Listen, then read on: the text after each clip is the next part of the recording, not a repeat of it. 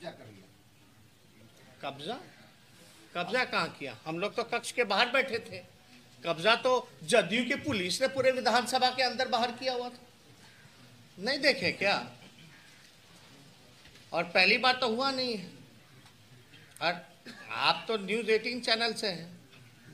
फिर से ज्वाइन हो गए। अब न्यूज़ 18 चैनल तो हम लोगों को अक्टूबर से इलेक्शन है से इलेक्शन कैसे लड़ा जाता है?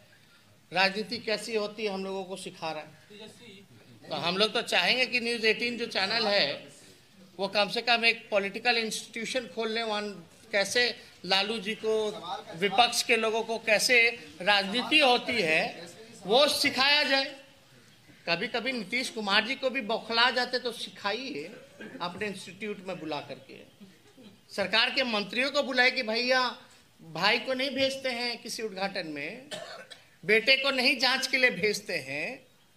थोड़ा जदयू और भाजपा के लोगों को भी बुला के सिखाइए अपने ट्रेनिंग इंस्टीट्यूशन में हम लोगों का तो अक्टूबर से आप लोग ट्रेनिंग दे रहे हैं। तो तो सवाल कर रहे हैं। सवाल कल कर जिस रहे तरह हैं से आप लोगों ने विधानसभा का एक तरीके से बहिष्कार किया तो इस एजेंडे पर आप लोग औकात है न्यूज़ एटीन की।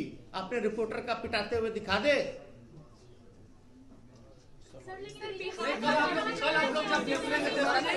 सर